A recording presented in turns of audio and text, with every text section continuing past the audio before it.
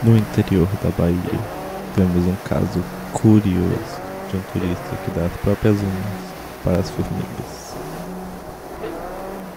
Ó, eu tô cortando isso aqui para facilitar, porque as formigas estavam tendo muita dificuldade para levar uma unha inteira. Eu tava eh, fazendo um trabalho de várias formigas, aí a, formiga, aí a, a unha engancha no, no, na grama aí ela não dá conta.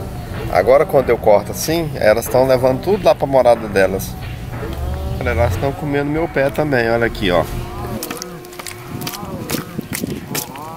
Elas ficam tudo alvoroçadas, quando você mexe aqui, ó, é, chinelo. Olha ali, ó, nesse, outro pé ali, ó.